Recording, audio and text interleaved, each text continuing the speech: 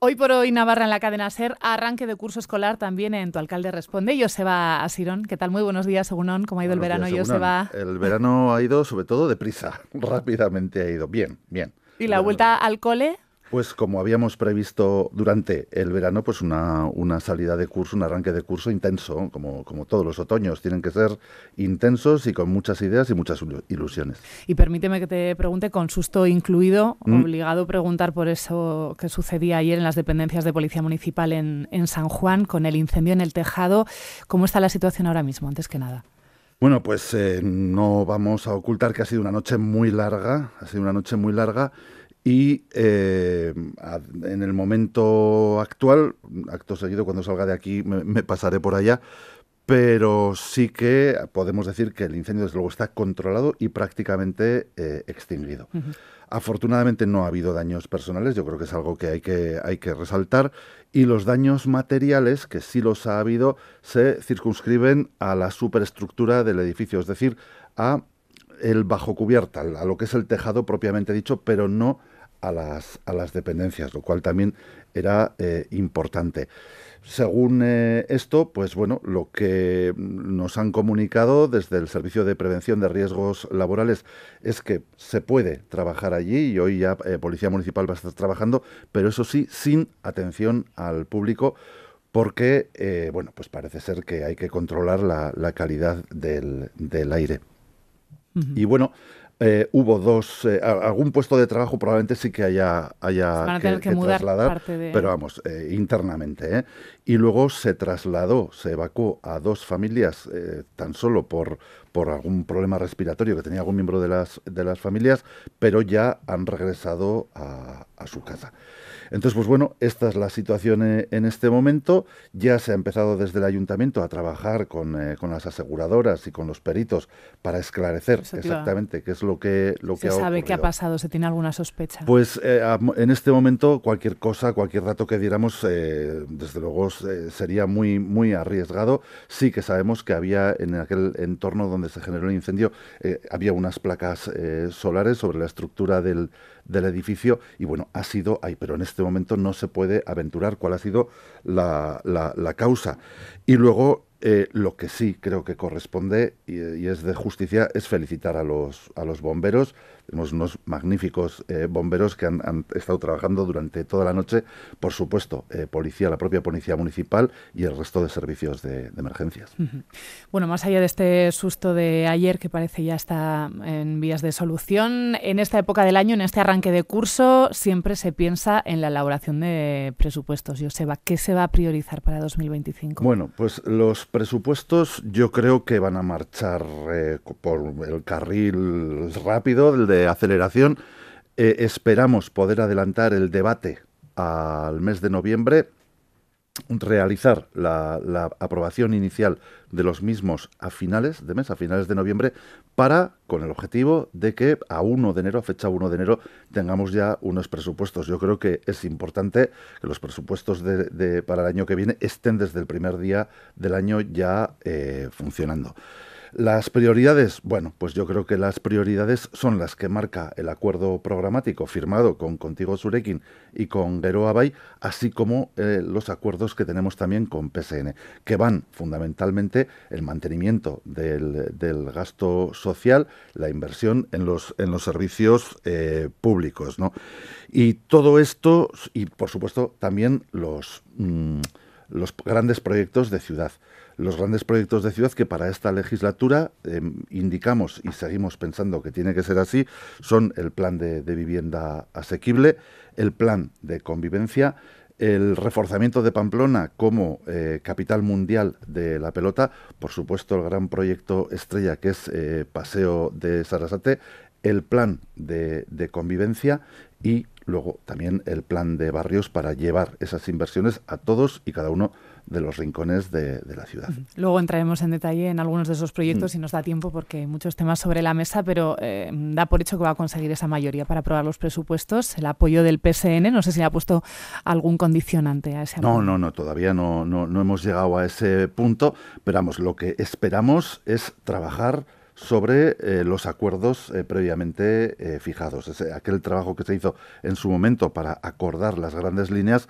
ahora revierten, claro, en que, en que pueda el carril sea más fácil de, transitar. Nunca puedes decir esto va a ser fácil. Por supuesto que tenemos diferentes criterios, somos fuerzas políticas con diferencias evidentes, pero bueno, yo creo que la disposición, el talante es negociador y por lo tanto estoy muy confiado en que efectivamente a 1 de enero tengamos presupuestos haber alguna partida destinada para Ripagaña? Ahora nos vamos a meter también en materia hablando de... Ripagaña lleva su propio carril, un carril que ya es algo tangible, es decir, han pasado ya los, los tiempos aquellos de los buenos deseos y de las palabras bonitas. Hay un calendario que está perfectamente marcado con algunas cuestiones que ya se han hecho y otras que están encargadas o en proyecto. Concretamente, en, en, en Ripagaña ahora mismo ya está el, eh, firmado eh, los acuerdos, las, eh, la reunión, a raíz de la reunión que se hizo de para poder gestionar cada las cuestiones que estaban pendientes,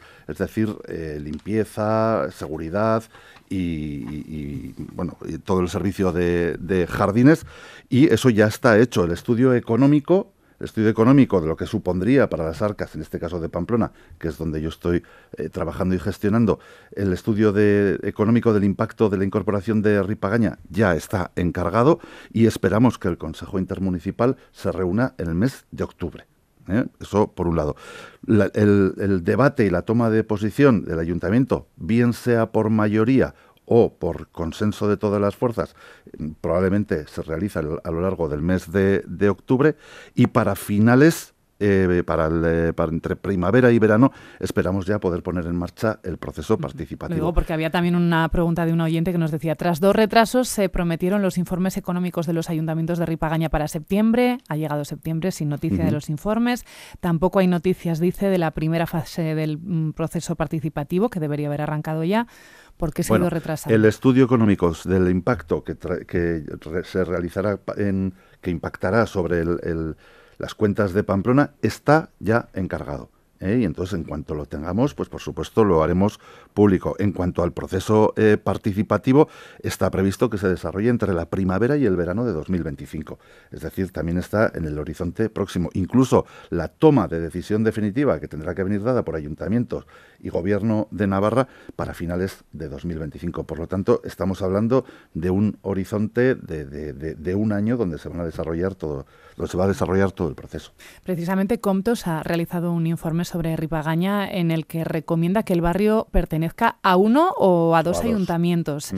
En este caso, Pamplona y, Burlada, o uno de los dos. No sé qué les parece el informe, si han tenido tiempo también de mirarlo. Cuantificaba, por cierto, en, en torno a dos millones de euros las pérdidas del ayuntamiento de Pamplona si no se hace cargo de, Bueno, la, verdad es que es algo que hace, hemos tenido muy poco tiempo para, para valorar, pero bueno, va más o menos en la línea de lo que teníamos ya eh, previsto. Efectivamente, lo que es evidente es que la situación administrativa de Ripagaña, tal y como está ahora, es insostenible y que tendría que revertir, tendría que incorporarse a uno o a dos ayuntamientos. estamos de acuerdo y además hemos manifestado, en principio, yo personalmente, como, como alcalde y como, y como portavoz de, de, una fuerza eh, política del ayuntamiento, eh, que bueno, que si así lo estimara el vecindario, por supuesto, estaríamos dispuestos, estaríamos dispuestas a asumir a Ripagaña como un barrio más de, Pamplona. Pero bueno, en último término, tiene que ser el propio vecindario quien lo decida. Burlada eh, también perdería dinero, de hecho, tendría dificultades para, para, gestionar el ayuntamiento si no se queda con eh, Ripagaña en este caso burlada del mismo signo político mm. de su partido. No sé si han tenido posibilidad de hablar con la alcaldesa para ver cuáles son sus expectativas. Con, con Berta eh, tenemos eh, contactos eh, frecuentes y creo que, de hecho, ya el hecho de que mm, tres de los municipios afectados estén bajo unas mismas siglas ha revertido en una agilización de todo el, el proceso. Estamos en contacto permanente. Es cierto que Burlada es el otro ayuntamiento que, claro, eh, supondría para, para ellos una, una, pérdida de población, por así decir, y un impacto económico. Lo que queremos llegar es a una fórmula que satisfaga, que deje mm, contentos, por así decirlo, a los ayuntamientos y, sobre todo, que garantice los servicios para el vecindario. Bueno, seguimos eh, hablando de temas de actualidad. Dejamos Ripagaña, nos volvemos al centro de la capital navarra porque se ha anunciado que Pamplona no va a dar licencias a apartamentos turísticos en el casco viejo. A efectos prácticos, ¿qué va a suponer sobre lo que ya estaba en marcha, alcalde?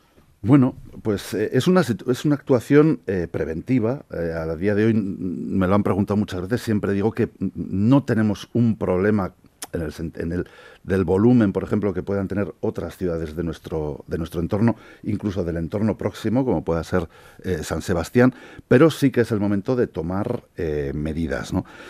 Sobre todo porque los pisos, eh, la proliferación excesiva de pisos turísticos, en primer lugar, expulsa a la población, por la subida de precios de compra y también de alquileres, incide en eh, la desaparición, como consecuencia de la pérdida de la función residencial primaria, en este caso del casco antiguo, también impacta sobre el comercio tradicional y además obedece a unos parámetros de turismo no sostenible. Y eso es lo que precisamente nosotros queremos eh, evitar. Mm, a partir de ahí, eh, como decía antes, hay una serie de, datos que nos indican que el tema estaba empezando a convertirse en un verdadero problema. En este momento, un 2,8, casi un 3% de las viviendas del casco antiguo eran ya eh, pisos turísticos. Eh, además, esos pisos turísticos estaban concentrados sobre todo en el casco antiguo, un 55%, más de la mitad de los pisos turísticos de Pamplona estaban concentrados en el casco antiguo y en los últimos cinco años, y esto es lo que marca la tendencia, se habían aprobado, habían, se habían abierto en torno a 90 pisos turísticos y había una serie de licencias, 21 concretamente, que estaban solicitadas y que, por supuesto, ahora van a quedar eh, paralizadas. La Asociación de Alojamientos dice bueno, que no es eh, una solución, que esta pasaría por controlar los pisos ilegales. ¿Hay constancia de que haya muchos en, la capital navarra? ¿Cómo se controla? Entiendo que ahí también entra de por medio el gobierno foral, ¿no? Claro. Eh, hombre, por supuesto que esa es, esa es otra, es una cuestión importante, pero yo creo que es una cuestión independiente. Aquí lo que estamos hablando es de la normativa y la normativa eh, mm, que está sobre la mesa ya de facto impide la proliferación de pisos turísticos. Si esos pisos turísticos se están dando de manera irregular, por supuesto lo que hay que hacer es perseguirlo y, y tomar las decisiones que correspondan, incluidas las sanciones correspondientes. Bueno, pues cambiamos de tema, otro del que estamos hablando mucho en los últimos días y que además nos viene eh, con una pregunta de, de, una oyente en este caso. El Ayuntamiento de Pamplona ha eliminado los descuentos del 50% para las familias monoparentales numerosas mayores de 50 años y menores de 31 en los bonos anuales del sistema de alquiler de bicis eléctricas. Dice, ¿por qué los van a retomar? Esto es algo que nos consta, por aquí también algún compañero lo está echando en falta, ¿eh? Sí, bueno, muchos, mucha, mucha gran, gran sector de la población. No, no es, no es cierto que se hayan eliminado los, los bonos. La campaña de bonos en sí misma se había, había terminado, había concluido y era el momento de tomar nuevas decisiones. Aquí hay que decir, en primer lugar, que venimos de una gestión de UPN que no se puede calificar sino de eh, nefasta. ¿Por qué? porque en la concesión administrativa que se hizo a la empresa para que gestionara las bicicletas eléctricas, uno de los de las fuentes de financiación principales era los MUPIs, la publicidad, las vallas publicitarias, los soportes publicitarios. Pero al mismo tiempo, el gobierno municipal lo que hizo fue impulsar sus propias campañas publicitarias en el entorno, con lo cual debilitaron la fuente de financiación de la empresa adjudicataria que precisamente lo que manifestó es que no le era rentable. Y para solucionar eso, para solucionar un problema, crearon otro problema a base de una serie de subvenciones encubiertas a la empresa con la teórica, al menos, eh, objetivo de rebajar eh, los precios. Bueno, eh, nosotros lo que hemos eh, hecho ha sido replantear el tema. Tenemos muy claro entre nuestros parámetros que tiene que haber en Pamplona un sistema mm, fuerte, importante de bicicleta eléctrica y que además tiene que eh, serlo bajo unas condiciones económicas, unos precios asequibles para la ciudadanía. Eso lo tenemos muy claro. Se están estudiando diferentes eh, fórmulas, entre ellas no descartamos la que probablemente hubiera sido la mejor desde un inicio, que era la, municipalización del, servicio. Pero se están analizando los costes, sin olvidar, insisto, tiene que haber un sistema de, bicicleta eléctrica, tiene que tener precios eh, asequibles y además tiene que estar coordinada también con la, con la comarca con el resto de localidades de la comarca para que sea un servicio realmente eficaz. Pues estaremos pendientes entonces. Seguimos hablando de movilidad. ¿Cómo van las obras del corredor de Veloso? Bueno, pues según lo previsto, según lo que desde un momento se, teníamos previsto, están eh, las obras van a buen eh, a buen ritmo y bueno, eh, seguimos en el, en el, horizonte de plazos que se había marcado en un momento. Es decir, la obra está previsto que termine en marzo de 2025. 2025. No sé si van a aprovechar este corredor de Veloso para conectar con otras partes de la ciudad, unir, por ejemplo, con Pío XII, se me ocurre. efectivamente, nos, ello nos permitiría entrar al, al, al ensanche y poder conectar con otros circuitos, que es lo que siempre, de alguna manera, decimos que, radica la, eficacia y el, éxito, sin duda, de los carriles bici, que sean eficaces, que te lleven realmente de una parte a otra de la ciudad y no simplemente eh, tramos concretos. ¿no? Por eso nosotros en su momento también apostábamos por, por un eh, itinerario alternativo a, a Veloso que llevara el carril sostenible por, por la Magdalena por, y por la Chantrea. Oye, hablando de Veloso, estos días también hemos escuchado que hay cierta polémica con la retirada de las vallas. ¿Qué va a pasar con esas barandillas, con el escudo de Pamplona? Bueno, las barandillas, vamos a ver. En primer lugar, eh, las barandillas actuales no cumplen la normativa. No cumplen la normativa en cuestión, por lo visto, de, de altura, no cumple la ley, en cuestión de altura y de distancia entre barrotes.